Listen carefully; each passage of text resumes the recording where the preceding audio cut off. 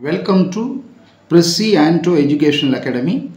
In this session I am going to explain you the moment generating function that is MGF mean and variance of exponential distribution. Let us see how to find the exponential distribution. The definition of exponential distribution is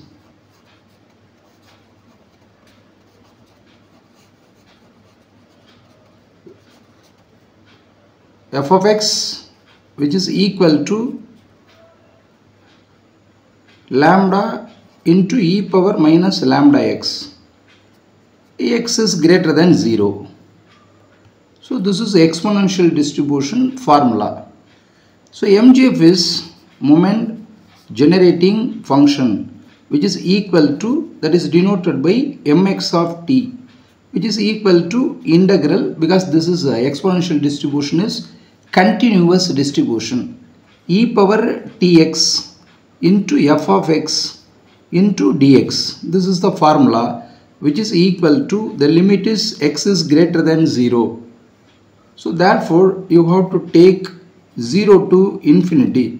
E power tx f of x is exponential distribution. Lambda e power minus lambda x into dx which is equal to lambda is a common so you can take uh, e power minus of lambda minus t into x into dx. Integral e power ax which is equal to into dx is equal to e power ax divided by a. This is the formula. So using this lambda into e power minus of lambda minus t into x divided by minus of lambda minus t. The limit is 0 to infinity. When you apply the upper limit, the value is e power minus infinity. So therefore 0 minus for x 0 you have to apply lower limit. e power 0 will be 1. So 1 divided by minus of lambda minus t 1 divided by minus of lambda minus t so minus minus plus so lambda divided by lambda minus t. So moment generating function is lambda divided by lambda minus t. So this is a very important. This is called as moment generating function. So next the mean.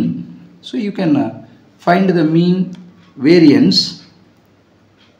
This can be written moment generating function can be written as lambda divided by lambda minus t. This can be written lambda. If you are taking in the denominator lambda as a common 1 minus t divided by lambda which is equal to lambda lambda cancel. 1 divided by 1 minus t by lambda which is equal to 1 minus t by lambda whole inverse.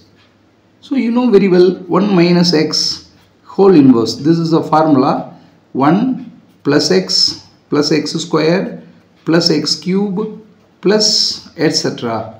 So using this uh, formula, this is a formula. So using this formula 1 minus t divided by lambda whole inverse which is equal to 1 plus t divided by lambda plus t square divided by lambda square plus t cube divided by lambda cube plus etc. So therefore mu 1 dash which is equal to e of x expectation of x which is equal to the coefficient of the coefficient of t divided by 1 factorial. So therefore the coefficient of t divided by 1 factorial can be written 1 by lambda. E of x is equal to 1 by lambda. E of x square which is equal to the coefficient of coefficient of t by t square by 2 factorial. Coefficient of t square by 2 factorial. T square is there but 2 factorial is not there. So therefore you have to multiply in the numerator by 2. So what is the t square? t square divided by lambda square. So 2 if you multiply here also you have to multiply. So t square divided by 2 which is equal to 2 by lambda square. So which is equal to 2 divided by right lambda square. This is E of x square expectational of x square. Variance of x.